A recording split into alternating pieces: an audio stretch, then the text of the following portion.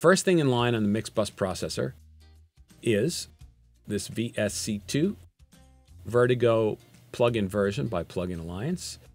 Gives you a VCA style compressor, barely touching, giving me a little gain. The Greg Wells Mixcentric plugin. For some reason, dialing this up to three and adjusting my ins and outs so there's the gain staging is correct. Sounds really good. It adds like a lower mid-range tightness and some sheen on the top. Manley Massive Passive, mainly just for some gentle boost. This one's a little higher than gentle, but these are.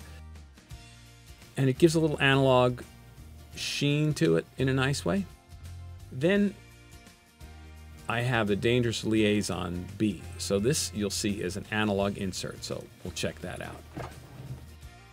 This is the Dangerous Liaison switcher unit. It has two paths, A path and a B path. It has six loops, and on each of these loops, I have a specific device. On loop one, I have a pair of Tonelux compressors dedicated for tracking or insert.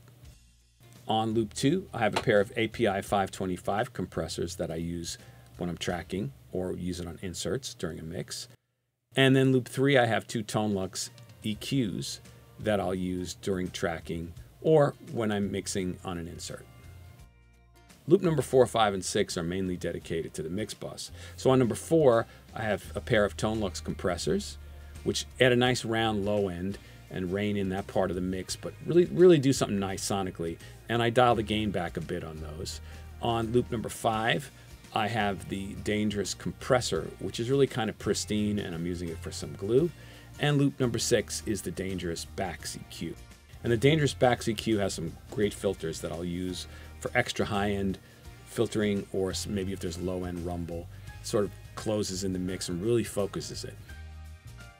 Then after that, we're going back into Pro Tools, and I have the BX V2 EQ, and this is a, a mid-side EQ, and I have a tiny bit of cut on the sides and the lower mids, and a similar thing in the mono section.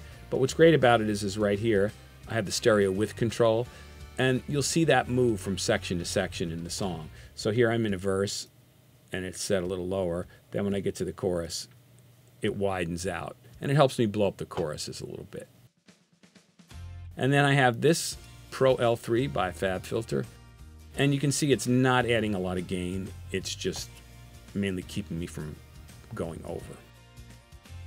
And then my favorite thing is the adapter AB.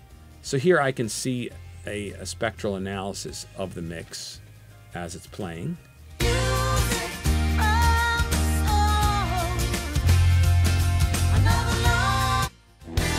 I can compare it to another mix.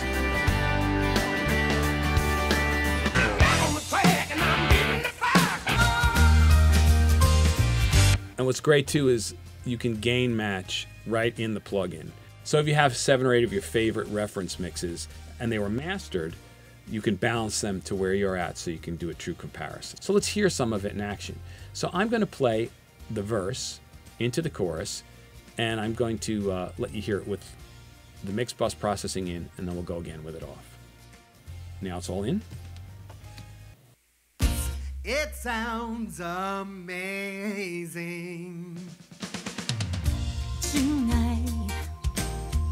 We're gonna rock the canyons. The earth is shaking.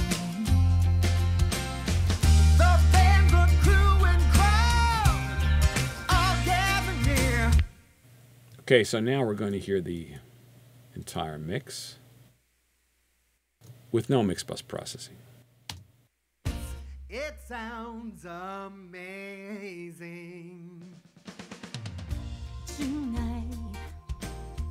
We're